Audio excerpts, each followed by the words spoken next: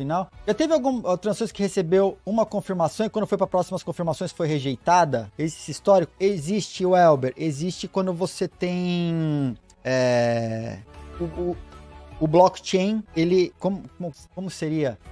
Ah, os blockchains, a gente pede para ter seis, seis confirmações, porque ele pode ser reorganizado. A gente já tem uma live aqui que eu explico que os blocos, tanto no Bitcoin como no Ethereum, eles têm peso, e o peso é diretamente ligado à quantidade de FIIs do bloco. Então pode ter um reorg Pode ter um reorg por ataque, 51%, pode ter um reorg por FIS. O cara pode até minerar um bloco anterior com um peso de FIS maior, com uma dificuldade maior. Com peso de FIS, não, desculpa, perdão. Dificuldade.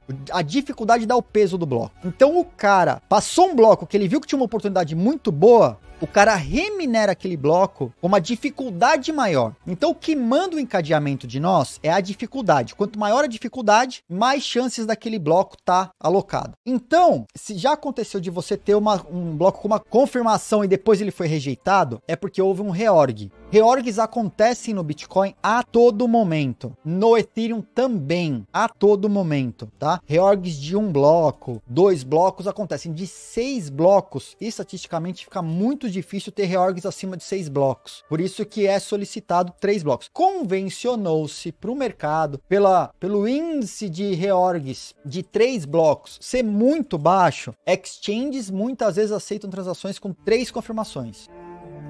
Mas é uma convenção de mercado, não é técnica. Galera falou, nossa, o índice de reorg de três blocos é muito baixo. Mas tem uma live, qualquer coisa pergunta para Muriel. Tem uma live onde eu explico o reorg, como que funciona essa coisa de peso. Então, ainda continua, tecnicamente, estatisticamente, é muito difícil haver um reorg acima de seis. Mas, de seis confirmações. Mas com três, devido ao histórico de quase nunca acontecer. Aí não é, é, é por volume de ocorrências. Volume de ocorrências. É por causa do volume de ocorrências de, transa, de blocos de três confirmações passarem por reorganização, muitas exchanges passaram a aceitar três.